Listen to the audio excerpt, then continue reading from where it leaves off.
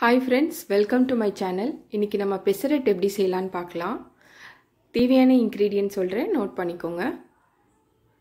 நான் இந்த சைஸ் கிளாஸில் மூணு கப் பச்சரிசி. அதே கிளாஸில் நான் மூணு கப் பச்சைப்பயிறு.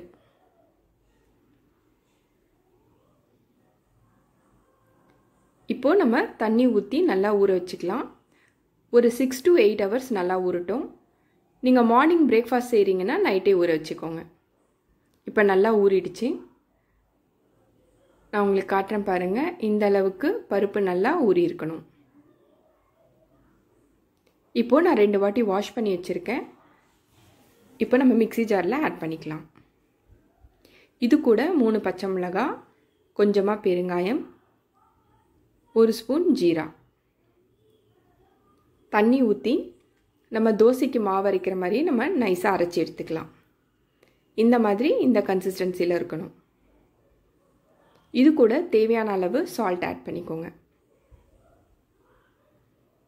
நல்லா மிக்ஸ் பண்ணிக்கோங்க. மாவோட சால்ட் நல்லா சேர்ந்து மிக்ஸ் பண்ணிக்கோங்க. அவ்வளோதான் நம்ம மாவு ரெடி ஆகிடுச்சு பெசரட் மாவு.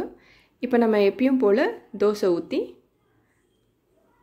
நம்ம கார சட்னியோடு சர்வ் பண்ணலாம்.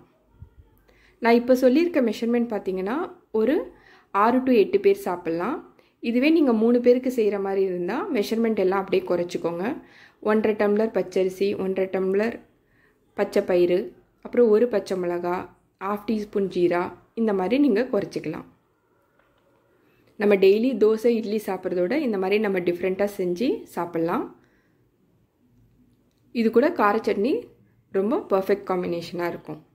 நான் கார சட்னி வீடியோ ஆல்ரெடி போட்டிருக்கேன். டிஸ்கிரிப்ஷனில் லிங்க் கொடுத்துருக்கேன். செக் பண்ணுங்கள் ரொம்ப ஹெல்த்தியானது ரொம்ப டேஸ்ட்டாகவும் இருக்கும். நம்ம டிஃப்ரெண்ட்டாக தோசை சாப்பிட்ட மாதிரி இருக்கும். உங்களுக்கு இந்த வீடியோ யூஸ்ஃபுல்லாக இருக்கும்னு நினைக்கிறேன். மறக்காமல் என்னோடய சேனலில் எல்லா வீடியோஸும் ஃபாலோ பண்ணிவிட்டு வாங்க. சப்ஸ்கிரைப் பண்ணுங்கள் பெல் ஐக்கானை கிளிக் பண்ணுங்கள் ஸோ தட் நான் போடுற ஃபர்தர் இன்ட்ரெஸ்டிங்கான ரெசிபிஸ் எல்லாமே உங்களுக்கு உடனே நோட்டிஃபை ஆகும். தேங்க்ஸ் ஃபார் வாட்சிங் and keep supporting wow and tasty சமையல்